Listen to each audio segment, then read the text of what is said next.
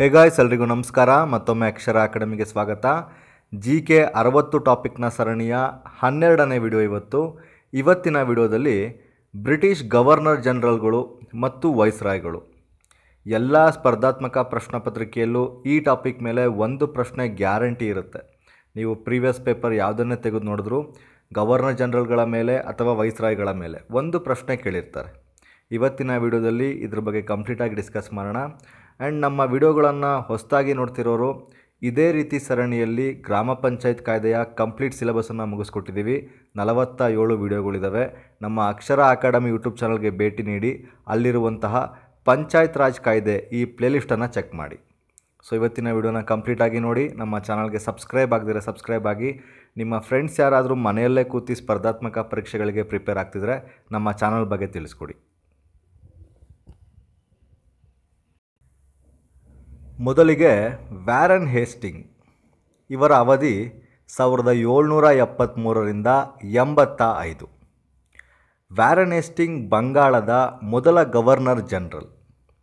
ಸಾವಿರದ ಏಳ್ನೂರ ಎಪ್ಪತ್ತ್ಮೂರರಲ್ಲಿ ವ್ಯಾರನ್ ಹೇಸ್ಟಿಂಗ್ ದ್ವಿಮುಖ ಸರ್ಕಾರ ಪದ್ಧತಿಯನ್ನು ರದ್ದು ಮಾಡ್ತಾನೆ. ಸಾವಿರದ ಏಳ್ನೂರ ಎಪ್ಪತ್ನಾಲ್ಕರಲ್ಲಿ ಇವನ ಅವಧಿಯಲ್ಲಿ ಕಲ್ಕತ್ತಾದಲ್ಲಿ ಸುಪ್ರೀಂ ಕೋರ್ಟ್ ಸ್ಥಾಪನೆ ಆಗುತ್ತೆ. ಸಾವಿರದ ಏಳ್ನೂರ ಎಪ್ಪತ್ನಾಲ್ಕರಲ್ಲಿ ವ್ಯಾರನ್ ಹೇಸ್ಟಿಂಗ್ ಕಂಪನಿ ಖಜಾನೆಯನ್ನು ಕಲ್ಕತ್ತಾದಿಂದ ಮುರ್ಷಿದಾಬಾದ್ಗೆ ವರ್ಗಾವಣೆ ಮಾಡ್ತಾನೆ. ಇವನ ಕಾಲದಲ್ಲಿ ಎರಡು ಬಹುಮುಖ್ಯ ಘಟನೆಗಳು ನಡೆಯುತ್ತೆ. ಯಾವುದ್ಯಾವುದು ಅಂದರೆ ಸಾವಿರದ ಏಳ್ನೂರ ಎಪ್ಪತ್ತೈದರ ಆಂಗ್ಲೋ ಮರಾಠ ಯುದ್ಧ ಇವನ ಕಾಲದಲ್ಲಿ ನಡೆಯುತ್ತೆ. ಇದು ಸಾಲ್ಬಾಯ್ ಒಪ್ಪಂದದೊಂದಿಗೆ ಅಂತ್ಯ ಆಗುತ್ತೆ. ಇನ್ನೊಂದು ಪ್ರಮುಖ ಯುದ್ಧ ಅಂದರೆ ಸಾವಿರದ ಏಳ್ನೂರ ಎಂಬತ್ತರ ಆಂಗ್ಲೋ ಮೈಸೂರು ಯುದ್ಧ ವ್ಯಾರನೆಸ್ಟಿಂಗ್ ಸಮಯದಲ್ಲಿ ನಡೆಯುತ್ತೆ. ಎರಡನೇ ಆಂಗ್ಲೋ ಮೈಸೂರು ಯುದ್ಧ ಮಂಗಳೂರು ಒಪ್ಪಂದದ ಪ್ರಕಾರ ಅಂತ್ಯ ಆಗುತ್ತೆ. ಆ್ಯಂಡ್ ಇನ್ನೊಂದು ಮೇಜರ್ ಅಂದರೆ ಇವನ ಅವಧಿಯಲ್ಲಿ ನ್ಯಾಯಾಂಗದ ಕೊಲೆ, ನಂದಕುಮಾರ್ ಪ್ರಕರಣ ವ್ಯಾರನೆಸ್ಟಿಂಗ್ ಅವಧಿಯಲ್ಲಿ ನಡೆಯುತ್ತಿದ್ದು. ಸಾವಿರದ ಏಳ್ನೂರ ಎಂಬತ್ನಾಲ್ಕರಲ್ಲಿ ಇವನು ಕಲ್ಕತ್ತಾದಲ್ಲಿ ವಿಲಿಯಂ ಜೇಮ್ಸ್ ಒಂದಿಗೆ ಏಷ್ಯಾಟಿಕ್ ಸೊಸೈಟಿ ಆಫ್ ಬೆಂಗಾಲ್ ಇದನ್ನು ಸ್ಥಾಪನೆ ಮಾಡ್ತಾನೆ.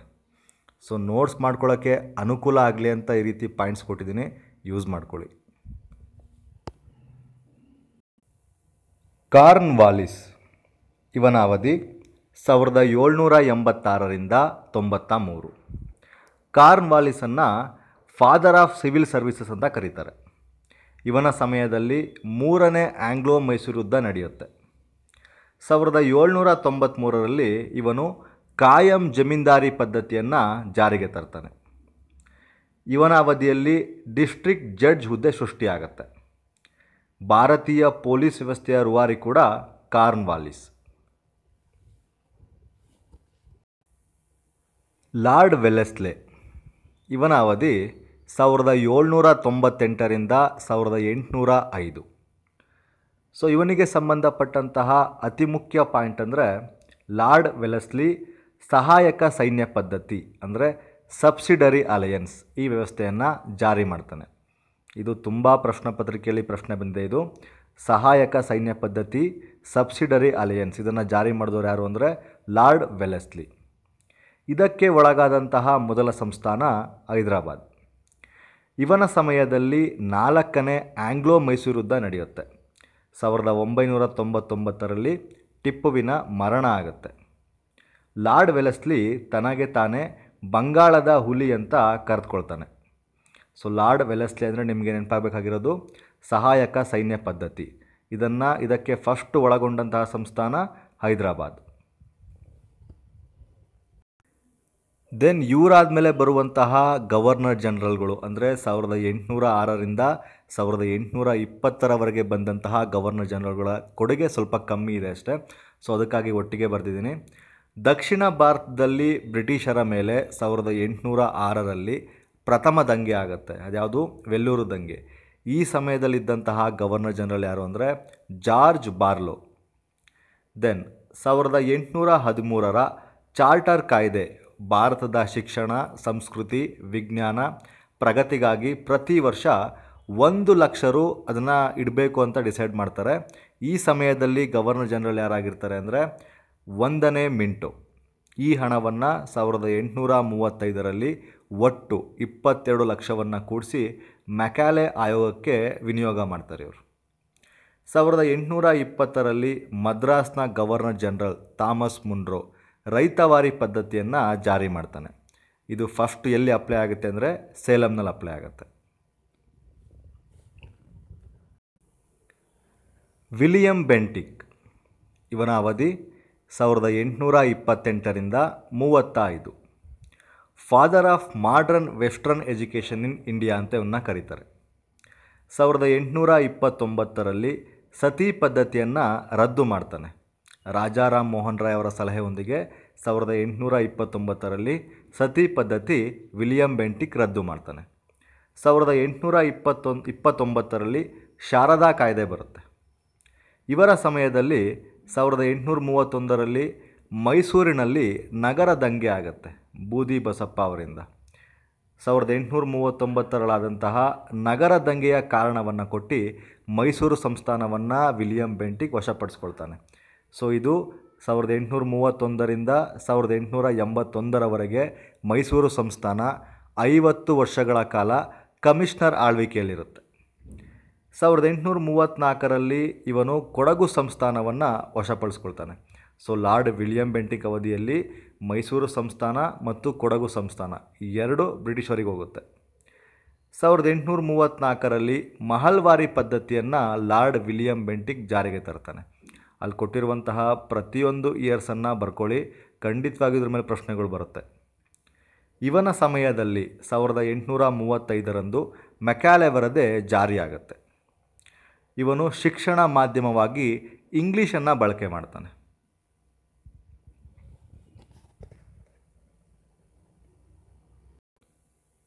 ಇನ್ನೊಬ್ಬ ಪ್ರಸಿದ್ಧ ಗವರ್ನರ್ ಜನರಲ್ ಅಂದರೆ ಡಾಲೋಸಿ. ಇವನ ಅವಧಿ ಸಾವಿರದ ಎಂಟುನೂರ ನಲವತ್ತೆಂಟರಿಂದ ಐವತ್ತ ಆರು ಇವನನ್ನು father of electric telegraphic in India ಅಂತ ಕರೀತಾರೆ. ಡಾಲೋಸಿಯ ಮೇನ್ ಪಾಯಿಂಟ್ ಯಾವುದು ಅಂದರೆ ಎಕ್ಸಾಮ್ಸಿಗೆ ದತ್ತು ಮಕ್ಕಳಿಗೆ ಹಕ್ಕಿಲ್ಲ ಎಂಬ ಪದ್ಧತಿಯನ್ನು ಲಾರ್ಡ್ ಡಾಲೋಸಿ ಜಾರಿ ತರ್ತಾನೆ. ದತ್ತು ಮಕ್ಕಳಿಗೆ ಹಕ್ಕಿಲ್ಲ ಅಂದರೆ ಡಾಕ್ಟ್ರಿನ್ ಆಫ್ ಲ್ಯಾಬ್ಸ್ ಅಂತ. ಸಾವಿರದ ಎಂಟುನೂರ ನಲವತ್ತೆಂಟರಲ್ಲಿ ಬಿರುದುಗಳು, ಪಿಂಚಣಿಗಳನ್ನು ಇವನು ರದ್ದು ಮಾಡ್ತಾನೆ. ಲಾರ್ಡ್ ಡಾಲೋಸಿಯನ್ನು ಆಧುನಿಕ ಭಾರತದ ಪಿತಾಮಹ ಅಂತ ಕರೀತಾರೆ. ಲಾರ್ಡ್ ಡಾಲೋಸಿ ಮುಕ್ತ ವ್ಯಾಪಾರ ನೀತಿಯನ್ನು ಜಾರಿಗೆ ತರ್ತಾನೆ. ಸಾವಿರದ ಎಂಟುನೂರ ಐವತ್ನಾಲ್ಕರಲ್ಲಿ ವುಡ್ಸ್ ವರದಿ ಇವನ ಅವಧಿಯಲ್ಲಿ ಜಾರಿಯಾಗತ್ತೆ. ಡಾಲೌಸಿ ಅವಧಿಯಲ್ಲಿ ಅಂಚೆ ಕಚೇರಿಗಳು ಸ್ಥಾಪನೆ ಆಗ್ತವೆ. ಸಾವಿರದ ಎಂಟುನೂರ ಐವತ್ತ್ಮೂರರಲ್ಲಿ ಮುಂಬೈ ಟು ತಾನೆ ಮೂವತ್ತ್ನಾಲ್ಕು ಕಿಲೋಮೀಟರ್ ಉದ್ದದ ರೈಲ್ವೆ ಮಾರ್ಗ ಸ್ಥಾಪನೆ ಆಗುತ್ತೆ. ಆ್ಯಂಡ್ ಇನ್ನೊಂದು ಮೇನ್ ಪಾಯಿಂಟ್ ಅಂದರೆ ಸೈನ್ಯದ ಕೇಂದ್ರ ಸ್ಥಾನವನ್ನು ಕಲ್ಕತ್ತಾದಿಂದ ಶಿಮ್ಲಾಗೆ ಬದಲಾವಣೆ ಮಾಡ್ತಾನೆ. ಸೊ ಇಷ್ಟು ಕೂಡ ಲಾರ್ಡ್ ಡಾಲೌಸಿಯ ಕೊಡುಗೆ ಅಥವಾ ಅವನ ಟೈಮಲ್ಲಾದಂತಹ ಕೆಲಸಗಳು. ಕೊನೆಯ ಗವರ್ನರ್ ಜನರಲ್ ಅಂದರೆ ಲಾರ್ಡ್ ಕ್ಯಾನಿಂಗ್. ಇವನ ಸಮಯದಲ್ಲಿ ಆದಂತಹ ಮೇನ್ ಘಟನೆ ಯಾವುದು ಅಂದರೆ ಸಾವಿರದ ಎಂಟುನೂರ ಐವತ್ತೇಳರ ಸ್ವತಂತ್ರ ದಂಗೆ. ಇದು ಇವನ್ ಟೈಮಲ್ಲಿ ಆಗುತ್ತೆ ಆ್ಯಂಡ್ ಏಯ್ಟೀನ್ ಫಿಫ್ಟಿ ಸಿಕ್ಸ್, ಸಾವಿರದ ಎಂಟುನೂರ ಐವತ್ತಾರರಲ್ಲಿ ಜನರಲ್ ಸರ್ವಿಸ್ ಎನ್ಲಿಷ್ಮೆಂಟ್ ಆ್ಯಕ್ಟನ್ನು ಜಾರಿಗೆ ತರ್ತಾನೆ ಇವನು. ಸಾವಿರದ ಎಂಟುನೂರ ಐವತ್ತೊಂಬತ್ತರಲ್ಲಿ ಲಾರ್ಡ್ ಡಾಲೋಸಿ ತಂದಂತಹ ದತ್ತು ಮಕ್ಕಳಿಗೆ ಹಕ್ಕಿಲ್ಲ ಎಂಬ ಪದ್ಧತಿಯನ್ನು ಲಾರ್ಡ್ ಕ್ಯಾನಿಂಗ್ ರದ್ದು ಮಾಡ್ತಾನೆ.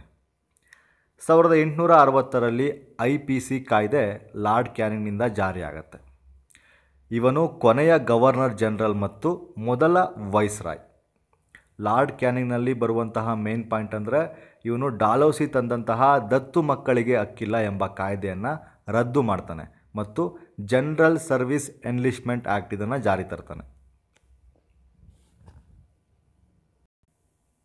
ಇಲ್ಲಿ ತನಕ ಗವರ್ನರ್ ಜನರಲ್ಗಳ ಬಗ್ಗೆ ಡಿಸ್ಕಸ್ ಮಾಡಿದ್ವಿ, ಇವಾಗ ವೈಸ್ರಾಯ್ಗಳ ಬಗ್ಗೆ ಡಿಸ್ಕಸ್ ಮಾಡೋಣ. ಆ್ಯಂಡ್ ಇನ್ನೊಂದು ನನಗೆ ಹೇಳಬೇಕನ್ನಿಸ್ತಿದೆ ಹೇಳ್ತೀನಷ್ಟೇ ಯಾವುದೇ ಕಾರಣಕ್ಕೂ ಈ ಶಾರ್ಟ್ ಕಟ್ ಆಗಲಿ ಶಾರ್ಟ್ ಟ್ರಿಕ್ಸ್ ಆಗಲಿ ಫಾರ್ಮುಲಾಸ್ ಆಗಲಿ ಇದ್ರ ಮೇಲೆ ಡಿಪೆಂಡ್ ಆಗಬೇಡಿ. ನೀವೊಂದು ಚಾಪ್ಟರ್ ಓದ್ತಿದ್ದೀರಾ ಅಂದರೆ ಅದರಲ್ಲಿರುವಂತಹ ಕಂಪ್ಲೀಟ್ ಕಾನ್ಸೆಪ್ಟನ್ನು ಅರ್ಥ ಮಾಡ್ಕೊಳ್ಳಿ. ಆವಾಗ ನಿಮಗೆ ಸಬ್ಜೆಕ್ಟ್ ಮೇಲೆ ಹ್ಯಾಂಡ್ಲಿಂಗ್ ಬರುತ್ತೆ. ಒಂದು ಚಾಪ್ಟ್ರಲ್ಲಿ ಇಷ್ಟು ಫಾರ್ಮುಲಾ ಅಂದರೆ ಈ ಟ್ರಿಕ್ಸ್ ಇದೆ ಇದನ್ನು ನೆನ್ಪಿಟ್ಕೊಳ್ಳೋಕೆ ಈ ಥರ ಟ್ರಿಕ್ಸ್ ಯೂಸ್ ಮಾಡ್ತೀನಿ, ಈ ಥರ ಡಿಪೆಂಡ್ ಆಗಬೇಡಿ. ನಾವು ಯಾರನ್ನು ಫುಲ್ ಮಾಡಿದ್ರು ಕೂಡ ಕ್ವಶನ್ ಪೇಪರ್ ಕಮಿಟಿಲಿರುವಂತಹ ಮೆಂಬರ್ಸ್ನ ಫುಲ್ ಮಾಡೋಕ್ಕಾಗಲ್ಲ ಅವರು ನಮ್ಮಂಥವ್ರನ್ನ ತುಂಬ ಜನ ನೋಡಿರ್ತಾರೆ. ನಾವು ಶಾರ್ಟ್ ಟ್ರಿಕ್ಸ್ ಯೂಸ್ ಮಾಡಿ, ಫಾರ್ಮುಲಾ ಯೂಸ್ ಮಾಡಿ ಆ ಥರ ಕ್ವಶನ್ ಬರುತ್ತೆ ಅಂದ್ಕೊಂಡ್ರೆ ಅದು ನಮ್ಮ ಫುಲಿಶ್ನೆಸ್ ಅಷ್ಟೇ ಅದು. ಪ್ರತಿ ವರ್ಷ ಪ್ರಶ್ನೆ ಪತ್ರಿಕೆ ಗುಣಮಟ್ಟ ಜಾಸ್ತಿ ಆಗ್ತಾ ಹೋಗ್ತಾ ಇರುತ್ತೆ. ಸೊ, ಸಾಧ್ಯವಾದಷ್ಟು ಹೆಂಗಿದ್ರೂ ಓದ್ತೀರಾ? ಅದನ್ನು ಕಂಪ್ಲೀಟಾಗಿ ಓದ್ಬಿಡಿ. ಅಲ್ಲಿ ಯಾವುದೇ ರೀತಿಯ ಶಾರ್ಟ್ಕಟ್ ಟ್ರೈ ಮಾಡೋದಾಗಲಿ ಅಥವಾ ಫಾರ್ಮುಲಾಸ್ನ ಹುಡುಕಿ ಮಾಡೋದಾಗಲಿ ಆ ರೀತಿ ಮಾಡಬೇಡಿ. ನನಗೆ ಅನ್ಸಿದ್ದು ಹೇಳಿದ್ದೀನಿ ನಿಮ್ಮ ಇಷ್ಟ ಲಾರ್ಡ್ ಮಿಯೋ ಇವನ ಅವಧಿ ಸಾವಿರದ ಎಂಟುನೂರ ಅರವತ್ತೊಂಬತ್ತರಿಂದ ಎಪ್ಪತ್ತ ಎರಡು. ಲಾರ್ಡ್ ಮಿಯೋನ ಅವಧಿಯಲ್ಲಿ ಸಾವಿರದ ಎಂಟುನೂರ ಎಪ್ಪತ್ತೊಂದರಲ್ಲಿ ನಮ್ಮ ಭಾರತದ ಇತಿಹಾಸದಲ್ಲೇ ಮೊದಲ ಬಾರಿಗೆ ಜನಗಣತಿ ಆಗುತ್ತೆ ಅಂದರೆ ಸೆನ್ಸಸ್ ಆಗುತ್ತೆ. ಭಾರತೀಯ ಸ್ಟ್ಯಾಟಿಸ್ಟಿಕ್ಸ್ ಡಿಪಾರ್ಟ್ಮೆಂಟ್, ಅಂದರೆ ಅಂಕಿ ಅಂಶಗಳ ಇಲಾಖೆ ಇವನ ಅವಧಿಯಲ್ಲಿ ಸ್ಥಾಪನೆ ಸ್ಥಾಪನೆ ಆಗುತ್ತೆ. ಲಾರ್ಡ್ ಮಿಯೋ ಹಣಕಾಸು ವಿಕೇಂದ್ರೀಕರಣವನ್ನು ಜಾರಿ ಮಾಡ್ತಾನೆ. ಲಾರ್ಡ್ ಮಿಯೋ ಕರ್ತವ್ಯದಲ್ಲಿದ್ದಾಗಲೇ ಹತ್ಯೆಯಾದಂತಹ ವೈಸ್ರಾಯ್. ಲಾರ್ಡ್ ಲಿಟ್ಟನ್ ಇವನ ಅವಧಿ ಸಾವಿರದ ಎಂಟುನೂರ ಎಪ್ಪತ್ತಾರರಿಂದ ಸಾವಿರದ ಎಂಟುನೂರ ಎಂಬತ್ತು. ಇವನು ಮೋಸ್ಟ್ ಅನ್ಪಾಪ್ಯುಲರ್, ಅಪ್ರಸಿದ್ಧ ವೈಸ್ರಾಯ್. ಅಂದರೆ ನಮ್ಮ ಇಂಡಿಯಾಗೆ ಒಂಥರ ವಿಲನ್ ಥರ ಇವನು. ವೈಸ್ರಾಯ್ ಆಫ್ ರಿವರ್ಸ್ ಕ್ಯಾರೆಕ್ಟರ್ ಅಂತ ಇವನ್ನ ಕರೀತಾರೆ. ಸಾವಿರದ ಎಂಟುನೂರ ಎಪ್ಪತ್ತೆಂಟರಲ್ಲಿ ದೇಶೀಯ ಭಾಷಾ ಪತ್ರಿಕಾ ಕಾಯ್ದೆ ವರ್ನಾಕ್ಯುಲರ್ ಆ್ಯಕ್ಟನ್ನು ಜಾರಿ ಮಾಡ್ತಾನೆ. ಸಾವಿರದ ಎಂಟುನೂರ ಎಪ್ಪತ್ತೆಂಟರಲ್ಲಿ ಎಪ್ಪತ್ತ ಎಂಟರಲ್ಲಿ ಶಸ್ತ್ರಾಸ್ತ್ರಗಳ ಕಾಯ್ದೆ ಇದನ್ನು ಜಾರಿ ಮಾಡ್ತಾನೆ. ಇವನ ಕಾಲದಲ್ಲಿ ಮೊದಲ ಕ್ಷಾಮ ಅಥವಾ ಬರಗಾಲ ಆಯೋಗ ರಚನೆ ಆಗುತ್ತೆ. ಸೊ, ಯಾರ ಕಾಲದಲ್ಲಿ? ಮೊದಲ ಬರಗಾಲ ಆಯೋಗ ರಚನೆ ಆಗುತ್ತೆ ಅಂದರೆ ಲಾರ್ಡ್ ಲಿಟ್ಟನ್ ಕಾಲದಲ್ಲಿ. ಐ ಸಿ ಎಸ್ ಪರೀಕ್ಷೆಗೆ ಕೂರುವ ಅಭ್ಯರ್ಥಿಗಳ ಗರಿಷ್ಠ ವಯಸ್ಸನ್ನು ಇಪ್ಪತ್ತೊಂದರಿಂದ ಹತ್ತೊಂಬತ್ತಕ್ಕೆ ಇಳಿಸ್ತಾನೆ ಅವನು. ಕೆಟ್ಟದ್ದು ಹೋದ್ಮೇಲೆ ಒಳ್ಳೇದು ಬರುತ್ತೆ ಅನ್ನೋ ರೀತಿ ಲಾರ್ಡ್ ಲಿಟನ್ ಹೋದ್ಮೇಲೆ ಲಾರ್ಡ್ ರಿಪ್ಪನ್ ಬರ್ತಾನೆ. ಇವನ ಅವಧಿ ಸಾವಿರದ ಎಂಟುನೂರ ಎಂಬತ್ತರಿಂದ ಎಂಬತ್ತ ನಾಲ್ಕು ಲಾರ್ಡ್ ರಿಪ್ಪನ್ ಆಧುನಿಕ ಭಾರತದ ಸ್ಥಳೀಯ ಸರ್ಕಾರದ ಪಿತಾಮಹ ಅಂತ ಕರೀತಾರೆ ಇವನ್ನ. ಲಾರ್ಡ್ ರಿಪ್ಪನ್ ಭಾರತದ ಸ್ನೇಹಿತ. ಅಂದರೆ ಇವನು ಇಂಡಿಯಾಗೆ ತುಂಬ ಹೆಲ್ಪ್ ಮಾಡ್ತಾನೆ. ದೇಶೀಯ ಭಾಷಾ ಕಾಯ್ದೆ ಆ್ಯಕ್ಟನ್ನು ಇವನು ರದ್ದು ಮಾಡ್ತಾನೆ. ಲಾರ್ಡ್ ಲಿಟ್ಟನ್ ತಂದಂತಹ ಈ ಆ್ಯಕ್ಟನ್ನು ದೇಶೀಯ ಭಾಷಾ ಕಾಯ್ದೆ ಆ್ಯಕ್ಟನ್ನು ಲಾರ್ಡ್ ರಿಪ್ಪನ್ ರದ್ದು ಮಾಡ್ತಾನೆ. ಸಾವಿರದ ಎಂಟುನೂರ ಎಂಬತ್ತೊಂದರಲ್ಲಿ ಅಧಿಕೃತವಾಗಿ ಮೊದಲ ಜನಗಣತಿ ಆಗುತ್ತೆ ನಮಗೆ ಇಂಡಿಯಾದಲ್ಲಿ. ಅಧಿಕೃತ ಜನಗಣತಿ ಏಯ್ಟೀನ್ ಏಯ್ಟಿ ಒನ್. ಸಾವಿರದ ಎಂಟುನೂರ ಎಂಬತ್ತೊಂದರಲ್ಲಿ ಮೊದಲ ಫ್ಯಾಕ್ಟರಿ ಕಾಯ್ದೆ ಜಾರಿ ಮಾಡ್ತಾನೆ.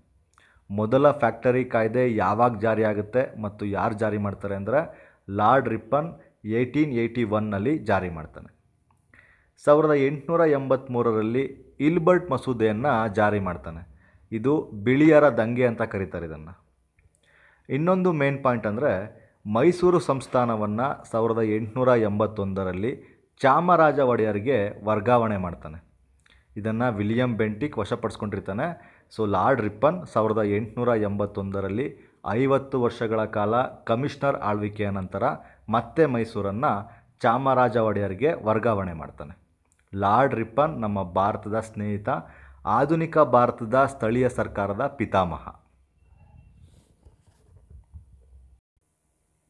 ಲಾರ್ಡ್ ಡೆಫರಿಂಗ್ ಇವನ ಅವಧಿ ಸಾವಿರದ ಎಂಟುನೂರ ಎಂಬತ್ನಾಲ್ಕರಿಂದ ಎಂಟುನೂರ ಎಂಬತ್ತ ಎಂಟು. ಇವನ ಅವಧಿಯಲ್ಲಾದಂತಹ ಮುಖ್ಯ ಘಟನೆ ಅಂದರೆ ಇವನ ಕಾಲದಲ್ಲಿ ಏಯ್ಟೀನ್ ಏಯ್ಟಿ ಫೈವ್ನಲ್ಲಿ ರಾಷ್ಟ್ರೀಯ ಕಾಂಗ್ರೆಸ್ ಸ್ಥಾಪನೆ ಆಗುತ್ತೆ. ಸೊ ರಾಷ್ಟ್ರೀಯ ಕಾಂಗ್ರೆಸ್ ಸ್ಥಾಪನೆ ಆದಾಗ ನಮ್ಮ ಭಾರತದ ವೈಸ್ರಾಯ್ ಯಾರು ಅಂದರೆ ಲಾರ್ಡ್ ಡೆಫರಿನ್. ಲಾರ್ಡ್ ಲ್ಯಾನ್ಸ್ಡೌನ್ ಇವನ ಕಾಲದಲ್ಲಾದಂತಹ ಮೇನ್ ಘಟನೆ ಅಂದರೆ ಲಂಡನ್ನಲ್ಲಿ ನಡೆಯುತ್ತಿದ್ದ ಸಿವಿಲ್ ಸರ್ವಿಸ್ ಪರೀಕ್ಷೆಗೆ ಭಾರತೀಯರಿಗೆ ಅವಕಾಶ ಮಾಡಿಕೊಡ್ತಾನೆ. ಸಾವಿರದ ಎಂಟುನೂರ ತೊಂಬತ್ತೊಂದರಲ್ಲಿ ಎರಡನೇ ಫ್ಯಾಕ್ಟರಿ ಕಾಯ್ದೆ ಜಾರಿಯಾಗತ್ತೆ. ಇಷ್ಟು ಲಾರ್ಡ್ ಲ್ಯಾನ್ಸ್ಡೌನ್ ಅವಧಿಯಲ್ಲಾದಂತಹ ಮುಖ್ಯ ಘಟನೆಗಳು.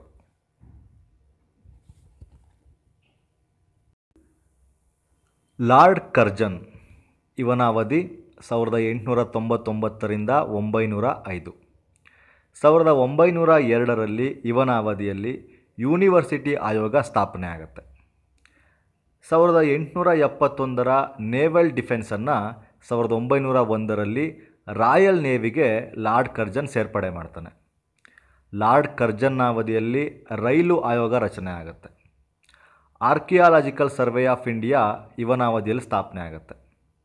ಆ್ಯಂಡ್ ಇವನ ಅವಧಿಯ ಅತಿ ಮುಖ್ಯ ಘಟನೆ ಅಂದರೆ ಲಾರ್ಡ್ ಕರ್ಜನ್ ಅವಧಿಯಲ್ಲಿ ಸಾವಿರದ ಒಂಬೈನೂರ ಐದರಲ್ಲಿ ಬಂಗಾಳದ ವಿಭಜನೆ ಆಗುತ್ತೆ.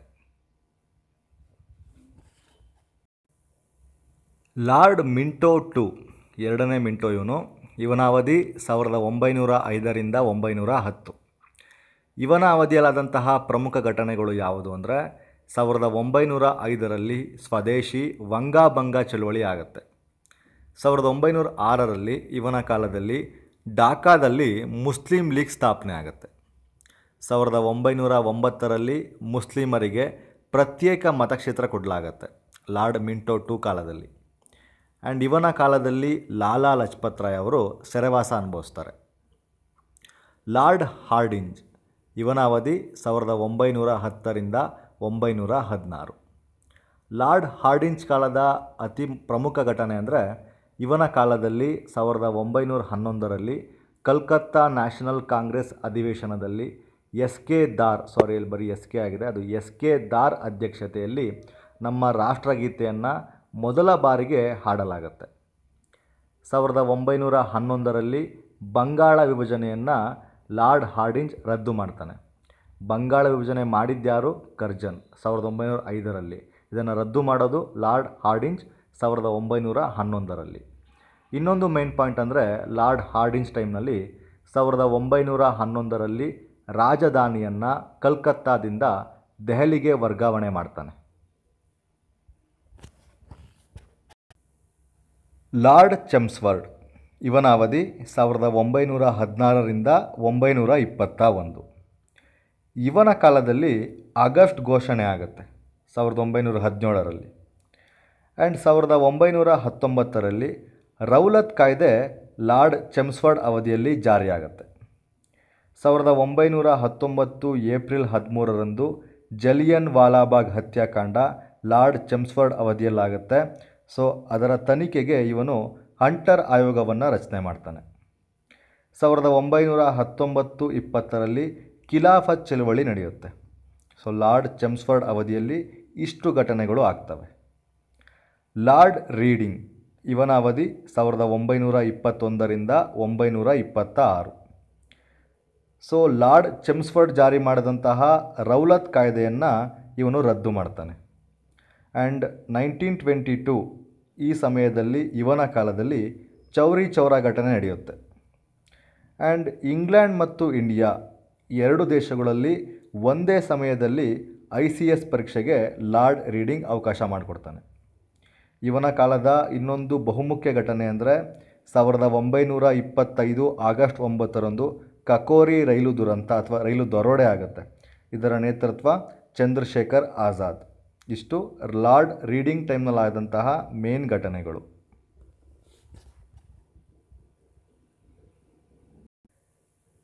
ಲಾರ್ಡ್ ಇರ್ವಿನ್, ಇವನ ಸಮಯ ಸಾವಿರದ ಒಂಬೈನೂರ ಇಪ್ಪತ್ತಾರರಿಂದ ಮೂವತ್ತ ಒಂದು. ಇವನ ಕಾಲದಲ್ಲಿ ನೈನ್ಟೀನ್ ಟ್ವೆಂಟಿ ಸೆವೆನ್ನಲ್ಲಿ ಸೈಮನ್ ಆಯೋಗ ಭಾರತಕ್ಕೆ ಬರುತ್ತೆ. ಸೊ, ಸೈಮನ್ ಆಯೋಗ ಭಾರತಕ್ಕೆ ಬಂದಾಗ ನಮ್ಮ ಭಾರತದ ವೈಸ್ರ ಯಾರು ಅಂದರೆ ಲಾರ್ಡ್ ಇರ್ವಿನ್. ಸಾವಿರದ ಒಂಬೈನೂರ ಇಪ್ಪತ್ತೇಳರಲ್ಲಿ ಬಟ್ಲರ್ ಆಯೋಗವನ್ನು ಲಾರ್ಡ್ ಇರ್ವಿನ್ ನೇಮಕ ಮಾಡ್ತಾನೆ. ಏನಕ್ಕೆ? ಕೇಂದ್ರ ಮತ್ತು ರಾಜ್ಯ ಸಂಬಂಧದ ಬಗ್ಗೆ. ನೈನ್ಟೀನ್ ಟ್ವೆಂಟಿ ನೈನಲ್ಲಿ ರಾಯಲ್ ಆಯೋಗ ಸ್ಥಾಪನೆ ಆಗುತ್ತೆ. ಇನ್ನೊಂದು ಮೇನ್ ಪಾಯಿಂಟ್ ಅಂದರೆ ನೈನ್ಟೀನ್ ತರ್ಟಿ ಒನ್, ಸಾವಿರದ ಒಂಬೈನೂರ ಮೂವತ್ತೊಂದರಲ್ಲಿ ಉಪ್ಪಿನ ಕಾಯ್ದೆ ಅನುಷ್ಠಾನಕ್ಕೆ ತರದಂತೆ ಗಾಂಧಿ ಇರ್ವಿನ್ ನಡುವೆ ಒಪ್ಪಂದ ಆಗುತ್ತೆ, ನೈನ್ಟೀನ್ ತರ್ಟಿ ಒನ್ನಲ್ಲಿ. ದೆನ್ ಲಾರ್ಡ್ ವಿಲ್ಲಿಂಗ್ಟನ್ ಇವನ ಅವಧಿ ಸಾವಿರದ ಒಂಬೈನೂರ ಮೂವತ್ತೊಂದರಿಂದ ಒಂಬೈನೂರ ಮೂವತ್ತ ಆರು ಇವನ ಅವಧಿಯಲ್ಲಾದಂತಹ ಮುಖ್ಯ ಘಟನೆ ಅಂದರೆ ಸಾವಿರದ ಒಂಬೈನೂರ ಮೂವತ್ತೆರಡರಲ್ಲಿ ಕಮ್ಯುನಲ್ ಅವಾರ್ಡ್ ಜಾರಿಯಾಗುತ್ತೆ, ಲಾರ್ಡ್ ವಿಲ್ಲಿಂಗ್ಟನ್ ಅವಧಿಯಲ್ಲಿ. ಇವನ ಸಮಯದಲ್ಲಿ ನೈನ್ಟೀನ್ ತರ್ಟಿ ಟು ಗಾಂಧಿ ಮತ್ತು ಅಂಬೇಡ್ಕರ್ ನಡುವೆ ಪೂನಾ ಒಪ್ಪಂದ ಆಗುತ್ತೆ.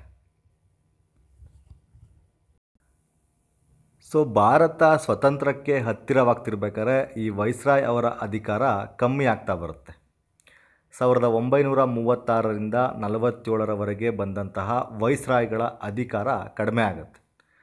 ಸೊ ಅಧಿಕ ಕಾಲ ವೈಸ್ರಾಯ್ ಆಗಿ ಕೆಲಸ ಮಾಡಿದವರು lord Linlithgow then cabinet mission lord Wavell ಅಧಿಕಾರಾವಧಿಯಲ್ಲಿ ಭಾರತಕ್ಕೆ ಬರುತ್ತೆ. ಬ್ರಿಟಿಷ್ ಭಾರತದ ಕೊನೆಯ ವೈಸ್ರಾಯ್ ಮತ್ತು ಭಾರತದ ಮೊದಲ ಗವರ್ನರ್ ಜನರಲ್ ಯಾರು ಅಂದರೆ lord Mountbatten. So guys ನನಗೆ ತಿಳಿದ ಮಟ್ಟಿಗೆ ಅಥವಾ ನಾನು ಓದಿರುವಂತಹ ಕೆಲವು ಪಾಯಿಂಟ್ಸ್ಗಳನ್ನು ಗವರ್ನರ್ ಜನರಲ್ ಮತ್ತು ವೈಸ್ರಾಯ್ಗಳ ಬಗ್ಗೆ ಇವತ್ತಿನ ವಿಡಿಯೋದಲ್ಲಿ ನಿಮಗೆ ಕೊಟ್ಟಿದ್ದೀನಿ. ನೋಟ್ಸ್ ಮಾಡ್ಕೊಳ್ಳೋಕೆ ಹೆಲ್ಪ್ ಆಗಲಿ ಅಂತ ಪಾಯಿಂಟ್ ವೈಸ್ ಕೊಟ್ಟಿದ್ದೀನಿ. ಯೂಸ್ ಮಾಡ್ಕೊಳ್ಳಿ. ಇದ್ರ ಮೇಲೆ ಖಂಡಿತವಾಗಿ ಒಂದು ಪ್ರಶ್ನೆ ಬಂದೇ ಬರುತ್ತೆ. ಇವತ್ತಿನ ವಿಡಿಯೋದಲ್ಲಿ ಒಂದು ಪ್ರಶ್ನೆ ಗ್ಯಾರಂಟಿ ಬರುತ್ತೆ. ಸೊ ನಮ್ಮ ಚಾನಲ್ಗೆ ಸಬ್ಸ್ಕ್ರೈಬ್ ಆಗದಿದ್ರೆ ಸಬ್ಸ್ಕ್ರೈಬ್ ಆಗಿ ಆ್ಯಂಡ್ ನಿಮ್ಮ ಫ್ರೆಂಡ್ಸ್ ಯಾರಾದರೂ ಮನೆಯಲ್ಲೇ ಕೂತಿ ಸ್ಪರ್ಧಾತ್ಮಕ ಪರೀಕ್ಷೆಗಳಿಗೆ ಪ್ರಿಪೇರ್ ಆಗ್ತಿದ್ರೆ ದಯವಿಟ್ಟು ನಮ್ಮ ಚಾನಲ್ ಬಗ್ಗೆ ತಿಳಿಸ್ಕೊಡಿ. ಸಾಧ್ಯವಾದ ಮಟ್ಟಿಗೆ ನಿಮ್ಮ ವಾಟ್ಸಪ್ನಲ್ಲಿ ಮತ್ತು ಫೇಸ್ಬುಕ್ನಲ್ಲಿ ನಮ್ಮ ವೀಡಿಯೋಗಳ ಲಿಂಕನ್ನು ಶೇರ್ ಮಾಡಿ.